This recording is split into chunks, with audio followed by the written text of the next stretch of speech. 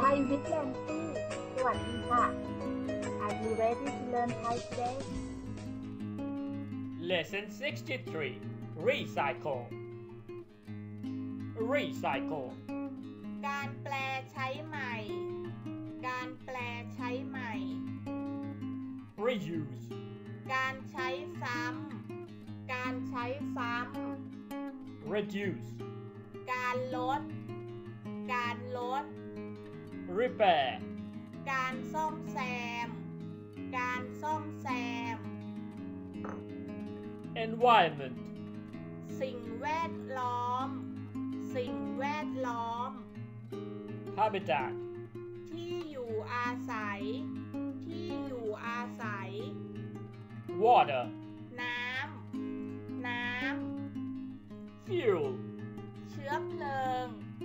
เชื้อเพลิง Electricity ไฟฟ้า ไฟฟ้า Compost ปุ๋ยหมัก ปุ๋ยหมัก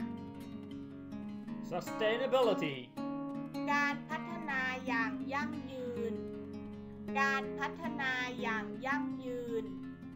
Renew ต่ออายุ ต่ออายุ Waste ของเสียของเสีย Toxin พิษพิษ Rubbish ขยะ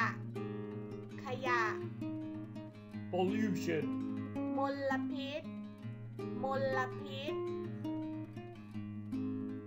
Contamination สารปนเปื้อน สารปนเปื้อน Plastic พลาสติก พลาสติก Emissions ปล่อยก๊าซเรือนกระจก ปล่อยก๊าซเรือนกระจก Energy